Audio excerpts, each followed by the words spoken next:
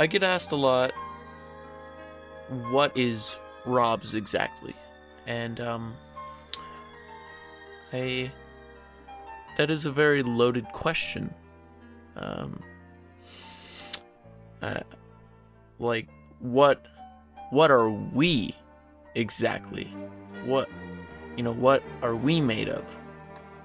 What were our ancestors like? What are our companions like?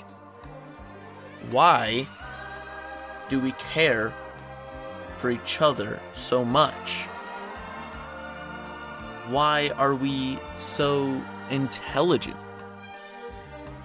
Why are we lucky enough to be on one of the only habitable planets? Yet, we're so unlucky to be born in a meaningless world that's endless and vast.